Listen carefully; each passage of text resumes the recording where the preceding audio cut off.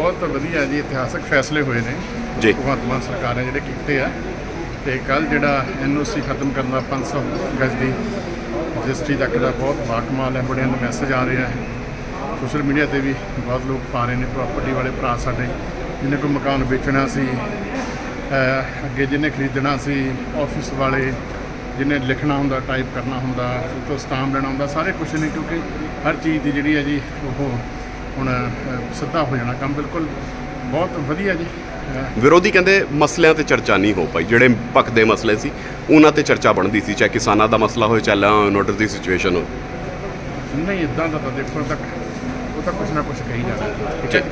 ਪਰ ਜਿੰਨੇ ਵੀ ਹੁਣ ਤੱਕ ਜਿਹੜੇ ਵੀ ਕੰਮ ਹੋ ਰਹੇ ਨੇ ਬਾਤ ਮਾਰ ਪੰਜਾਬ ਦੀ ਵਿਧਾਨ ਸਭਾ ਦੇ ਵਿੱਚ ਸਾਰਾ ਜਿਹੜਾ ਮਾਹੌਲ ਹੈ ਔਰ ਪਿਛਲੀ ਜਿੰਨੇ ਵਿਧਾਨ ਸਭਾ ਦੇ ਸੈਸ਼ਨ ਰਹੇ ਆ ਉਹਨਾਂ ਤੋਂ ਬਹੁਤ ਵਧੀਆ ਹੈ ਇਸ ਵਾਰ।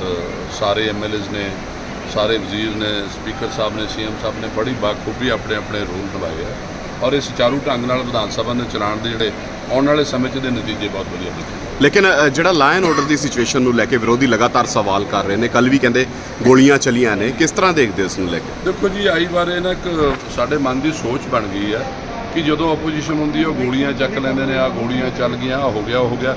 ਜਦੋਂ ਸੱਤਾ 'ਚ ਹੁੰਦੇ ਨੇ, ਉਦੋਂ ਇਹਨਾਂ ਨੂੰ ਸਭ ਕੁਝ ਭੁੱਲ ਜਾਂਦਾ। ਇਸ ਕਰਕੇ ਸਦਾ ਦਾ ਗਰੂਰ ਹੈ ਜਿਹੜਾ, ਅੱਜ ਉਹਦੇ ਭੁੱਖ ਨੂੰ ਹਲਾਪ ਰਹੇ ਨੇ ਲੋਕ। ਮੈਂ ਤਾਂ ਇਹਨਾਂ ਸੱਜਣਾ ਨੂੰ ਵੀ ਬੇਨਤੀ ਕਰਨਾ ਚਾਹਾਂਗਾ ਕਿ ਤੁਸੀਂ ਕੱਲ ਬੜਾ ਵਧੀਆ ਇੱਕ ਅੱਛਾ ਮੁਜ਼ਾਹਰਾ ਕੀਤਾ ਸ਼ਾਂਤੀ, ਜਿਹੜਾ ਸ਼ਾਂਤੀ ਦੇ ਨਾਲ ਸਦਨ ਦੇ ਵਿੱਚ ਆਪਣੀ ਕਾਰਵਾਈ ਨੂੰ ਚੱਲਣ ਦਿੱਤਾ ਨਾਲ ਤੁਸੀਂ ਬਹਿ ਕੇ, ਇਹ ਮੇਰਾ ਖਿਆਲ ਹੈ, ਅਗਰ ਇਹੋ ਜਿਹੇ ਤਰੀਕੇ ਨਾਲ ਵਿਧਾਨ ਸਭਾ ਦਾ ਸੈਸ਼ਨ ਚੱਲਦਾ ਰਹੇ, ਤਾਂ ਸੁਚਾਰੂ ਰੂਪ ਨਾਲ ਬੜੇ ਵਧੀਆ ਨਜੀ- ਨਤੀਜੇ ਵਿਧਾਨ ਸਭਾ ਦੇ, ਕਿਉਂਕਿ ਪੰਜਾਬ ਦੀ ਸਭ ਤੋਂ ਵੱਡੀ ਪੰਚਾਇਤ ਹੈ ਜਿੱਥੇ ਬੈਠ ਕੇ ਐਮ ਫੈਸਲੇ ਸਪੀਕਰ ਸਾਹਿਬ ਵੀ ਸਵਾਲ ਉੱਠਦੇ ਚੱਕਦੇ ਨੇ ਵੀ ਜਿਹੜੀ ਪੁਲਿਸ ਹੈਗੀ ਉਹਦੇ ਪਰ। ਦੇਖੋ ਗੱਲ ਇਹ ਹੈ ਜੀ ਸੀਐਮ ਸਾਹਿਬ ਦਾ ਤੇ ਜਿਹੜਾ ਸਪੀਕਰ ਸਾਹਿਬ ਦਾ ਉਹ ਪ੍ਰੋਟੋਕੋਲ ਹੋਰ ਤਰ੍ਹਾਂ ਦਾ ਕਿਉਂਕਿ ਉਸ ਲੈਵਲ ਦੀ ਗੱਲ ਮੈਂ ਨਹੀਂ ਕਹਿੰਦਾ ਮੈਂ ਤੇ ਐਮਐਲਏ ਦਾ ਜਿਹੜਾ ਮੇਰਾ ਹਲਕਾ ਉਹਦੇ ਅਧਿਕਾਰ ਖੇਤਰ 'ਚ ਹੀ ਗੱਲ ਕਰ ਸਕਦਾ।